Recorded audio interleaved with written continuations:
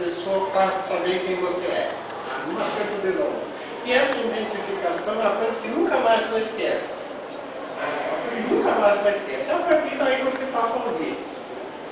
A partir daí você passa o dia. Um dos pontos fundamentais, realmente, é essa preocupação com o povo de lá. Eles querem ouvir de nós alguma coisa. Querem ouvir de nós alguma coisa que nós temos concreto, porque uma vez eu estive presidente prudente, e alguém diz assim, o que, que nós vivemos aqui? Nós vivemos aqui uma situação que vem de todo o estado de São Paulo, que é os presídios. Eu disse assim, voltando para a nossa região, o que, que nós precisamos estar trabalhando? Justamente esse fato, está reproduzindo aqui indivíduos para ser presos em outro lugar. Então, trabalho da nossa diocese, nossa comunidade, nós temos muito. Mas muitas vezes temos vergonha de falar realidade junto da comunidade. Porque a partir do momento que você começa a mexer nesse lado, que você vai construir, está ajudando outro estado, outra cidade. Né? Então essa, um outro ponto também que a gente não pode deixar de levar é buscar, a, como é que diz, acolher a pessoa, acolher a ideia das pessoas.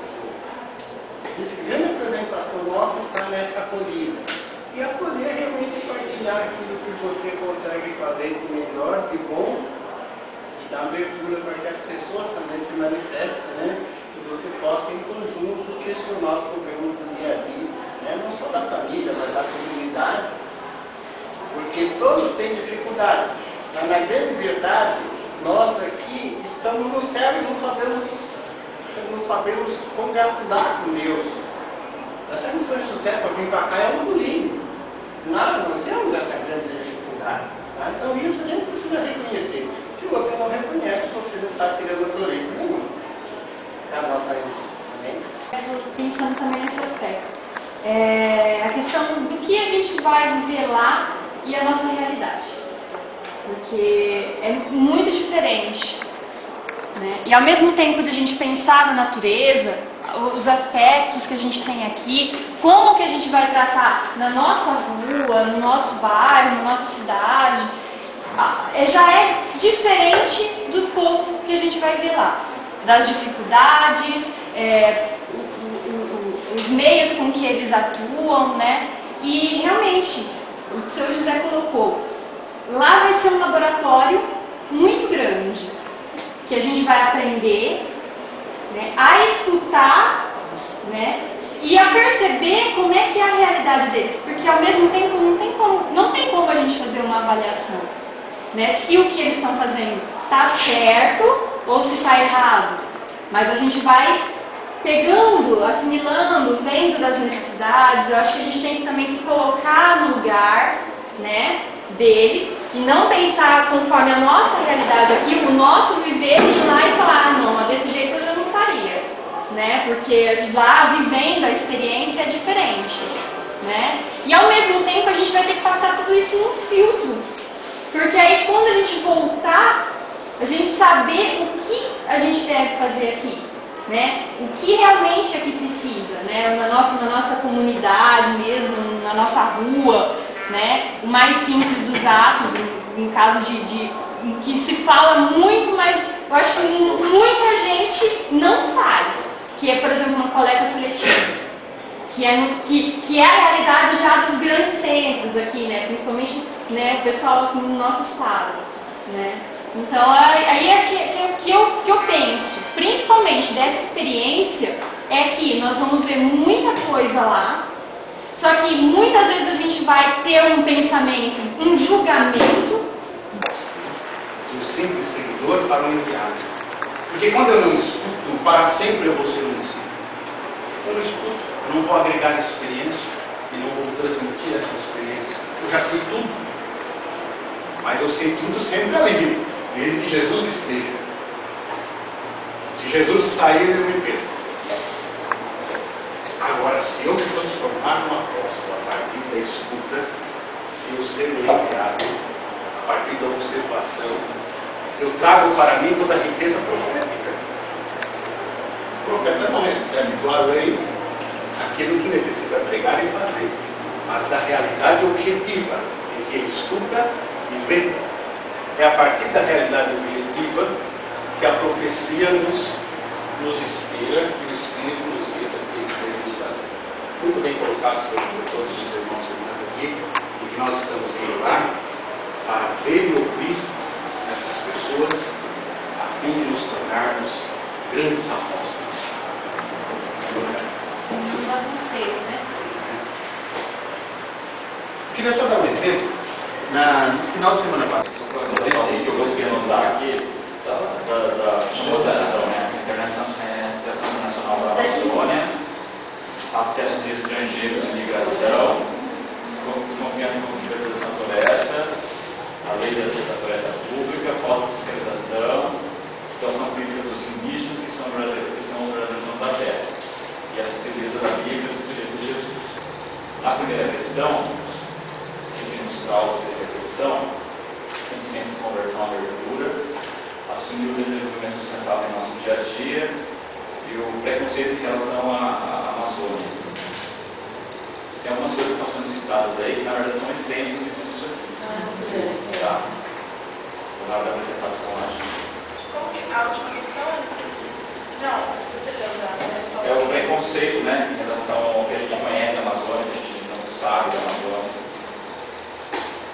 primeira pergunta. Agora para a segunda. Qual a minha ação à volta?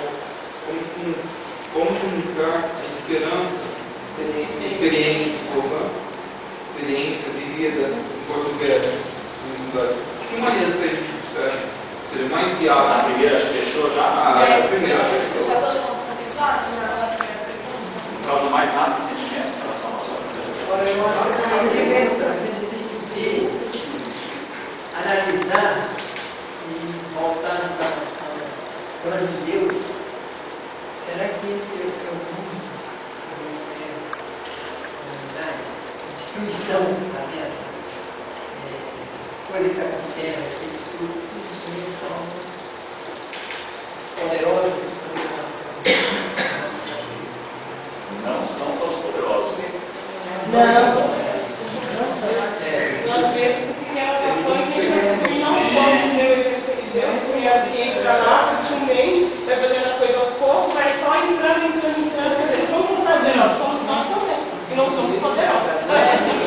passa para o outro, tem que levar ele de avança e vai para lá também. E vai indo. Poderosos entre aspas? Mas na verdade a gente também é. A vida e a missão, a missão de preservar a vida, não só na Amazônia, começa onde nós estamos. Toda cidade da Florida tem seu córrego. Como é que sabe isso? Quem jogou? Às vezes nós. Com a garrafinha que todo mundo lugar, nada fora. Olha está, né? né? E assim, talvez a, a missão de preservação, nós agora estamos para ouvir o amazônico. Apenas por sentimento de culpa. Gente não quer levantar a cabeça e dizer né, que somos os herdeiros dessa história de, de luta vitoriosa do povo de Cristo. E fazer o trabalho do base, levar a boa nova para nossas comunidades. Né? A esperança, certo? Esse, que nas nossas comunidades né, está em falta, justamente porque o que nos impõe o sistema é a destruição. Mas nós vamos ver como os povos resistem, aqueles povos que resistem no seio da natureza. Né? é uma esperança viva. Nós vamos encontrar com certeza uma esperança viva. Uma esperança viva, palpitante. Eu acho que nós temos que só analisar, nós temos que retornar para fazer trabalho de base. Estou completando a fala do nosso irmão, né? Só falar que a nossa ação, principalmente, eu tenho certeza que eu vou vir falando para que as minhas, assim, na comunidade, na minha convivência, as minhas pessoas, meu povo, principalmente na minha família, se conscientizem daquilo que a gente tem. Porque o que a gente tem não damos valor. A gente sempre olha o defeito do outro, mas não olha para dentro da gente mesmo olha, minha comunidade é pobre, mas em vista das que eu vejo, a minha comunidade é rica. Então ninguém lá não dá aquele certo valor daquilo que tem. Então, nós temos que trabalharmos a nossa consciência e dar valor àquilo que nós temos. Ou que temos é grandioso, não é diante do Pai. Então, trabalhar a nossa consciência de dar valor naquilo que temos. Com certeza nós vamos encontrar comunidades lá muito fragilizadas. Nós, com certeza, não temos.